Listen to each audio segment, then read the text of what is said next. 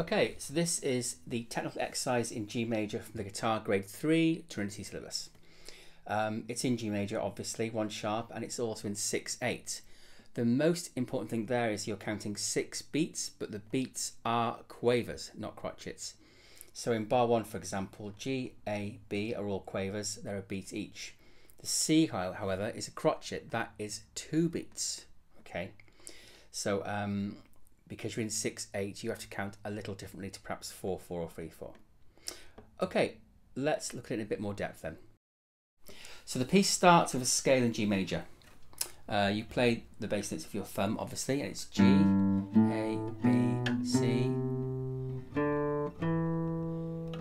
Right hand move to finger here, index, middle.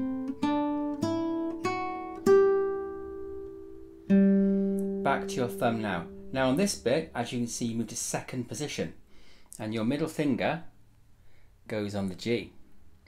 Now, LV means let vibrate. So you keep that finger down, add the first finger for the B, add the D, add the G. The fingers stay down. Keep two fingers down on that chord there for the last two bars, and your thumb just plays through the first three strings, then index, middle, third finger down on the D, and the G, So you've got a G major chord down and strum the chord. So the main thing really is stick to the fingerings as always. Um, make sure that for the bottom line, you keep your fingers down. Literally, you put your second down, then your first. That's the first two bars of line two.